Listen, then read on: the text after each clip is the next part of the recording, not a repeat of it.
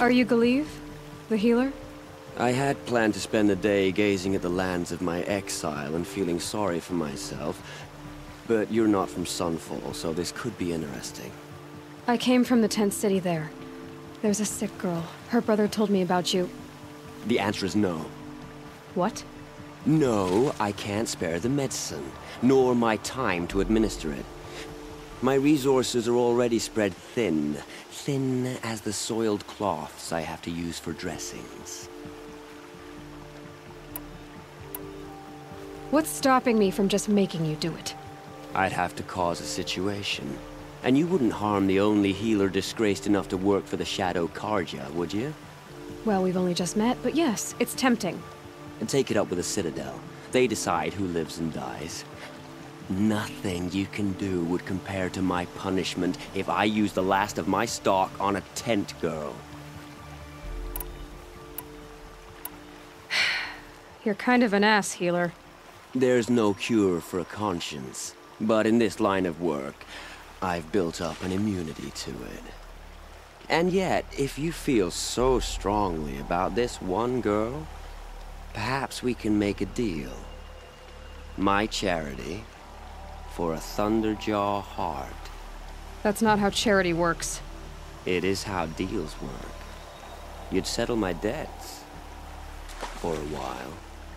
Those parts aren't exactly easy to come by.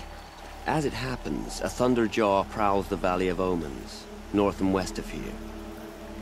I know it well because they expect me to put its victims back together. Runaways, mostly. If I do this, it's not for you. Oh, I'm not expecting you to do it at all. But I'll be heading back to the Citadel later. I don't have the part yet. Your Thunderjaw is to the north and west of here, you said? In the Valley of Omens. Really, as a healer, I should advise against this undertaking. But you won't just give me the aid I need. No.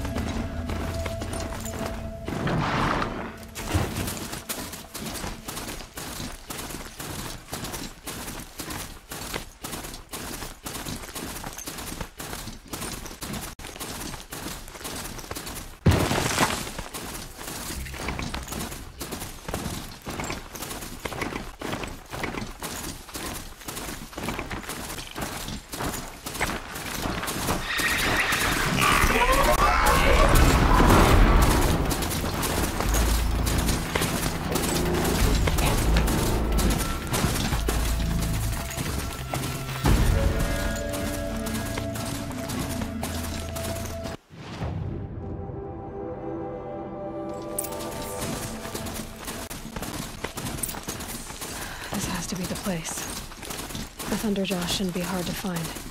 Just hope I see it before it sees me.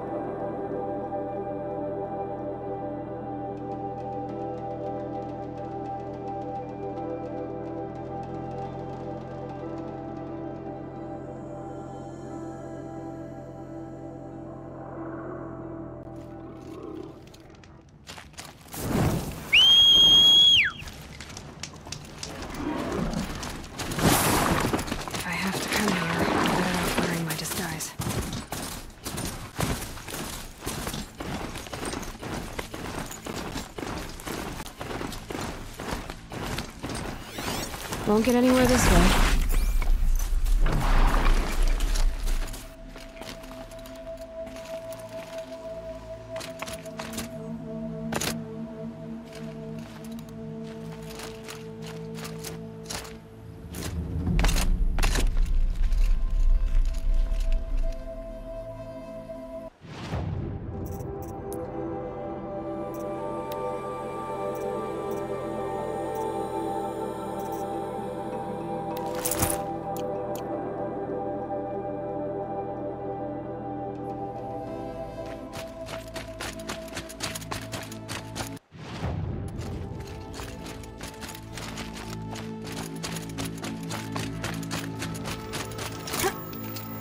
The food is from Dowager Queen Nasadi, little ones. Her Highness knows times are hard and helps when she can. Eat, but bring some home for your families, if you have one. I've heard whispers about you. Rides machines, fancy spear, delightful freckles. Some even say you have a conscience. How extraordinary. Who are you? You're obviously not one of the Shadow Carja. My name is Vanasha.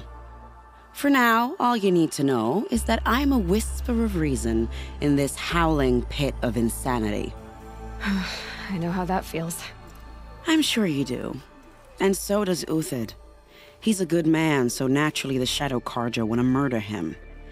I've done some digging, and I think he's headed for the Green Climb. It won't take those mercenaries long to find him.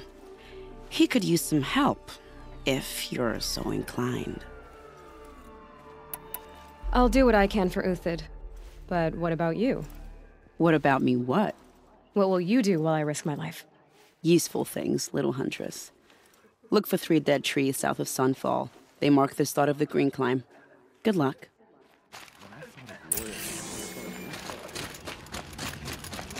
I have your machine part. A deal's a deal. See to the girl, and it's yours. On my oath. But tell me, if this girl survives, what do you suppose is her future? It's better than not having a future at all. What a charming notion. Come, come, let's be quick about this. Kindness doesn't keep well in the heat.